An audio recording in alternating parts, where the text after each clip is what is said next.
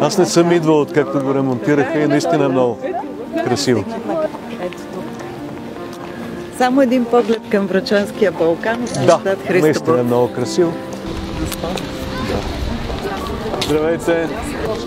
Имате ли нещо против да се снимаме с вас? Не, с удоволствие. Здравейте. Здравейте! Здравейте! Благодаря ви много. Мерси. Здравейте! Здравейте! Здравейте! От нашия град много се радвам. На нас ни е много приятно също. Да, Командир на 35-ти Врачански. Знам кой е полковник Да. Слаков, няма как.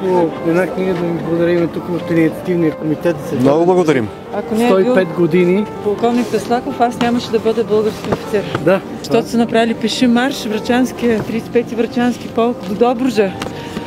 И са благодарим. на село Победа, откъдето са майка ми и баща ми. Успех ви пожелавам. Здравейте! Радвам се, че Драго ми и на мен. на гости на Враца. Благодаря ви. Успех ви желая. Мерси!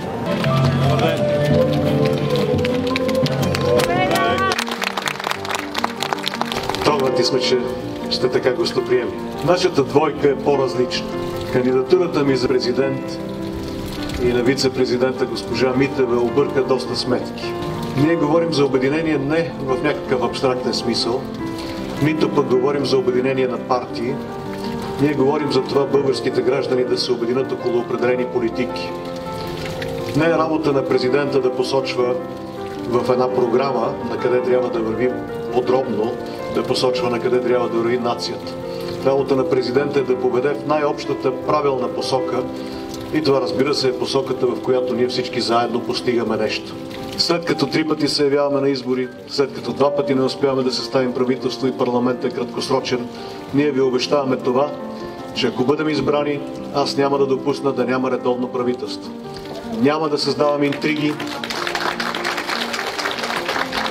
а ще създавам национален консенсус, около който партиите да се обединят въз основа на надпартийни приоритети.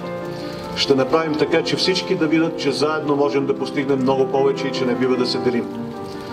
Надявам се да повярвате в това послание, защото искрено и от сърце. Надявам се и да постигнем успех. Ние искаме да направим така, че и в България регионите да имат равен шанс.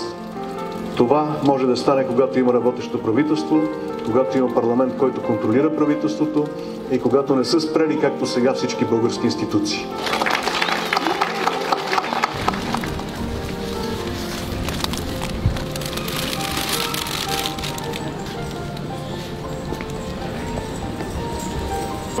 Ебре!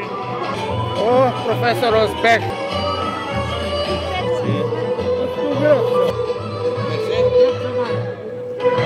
На светло. Да ви пише, да. С удоволствие. Кметовете Много благодарим. Аз обожавам тази двойка.